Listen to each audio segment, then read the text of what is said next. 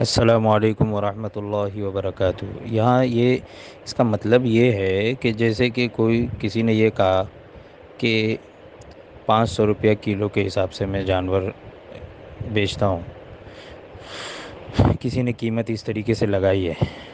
लेकिन जो बै हुई, यानी जो ख़रीदो फ़रोख्त हो रही है, जो अक़्द हो रहा है तो पहले तो जानवर को किसी ने वज़न कर लिया।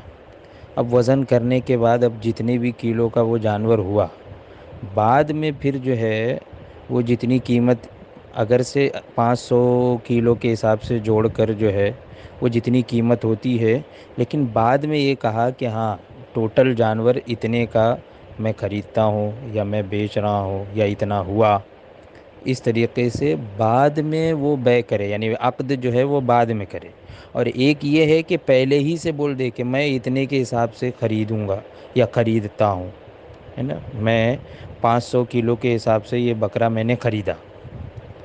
इस तरह से पहले ही अगर उसने कह दिया तो ये जो है वो बाज़ के नज़दीक दुरुस्त नहीं है।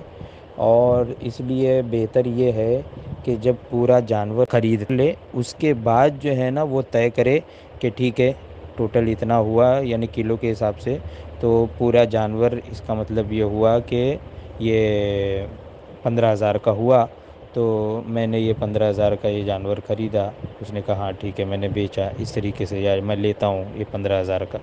तो इन दोनों में ये फ़र्क है। समझ में आई बात?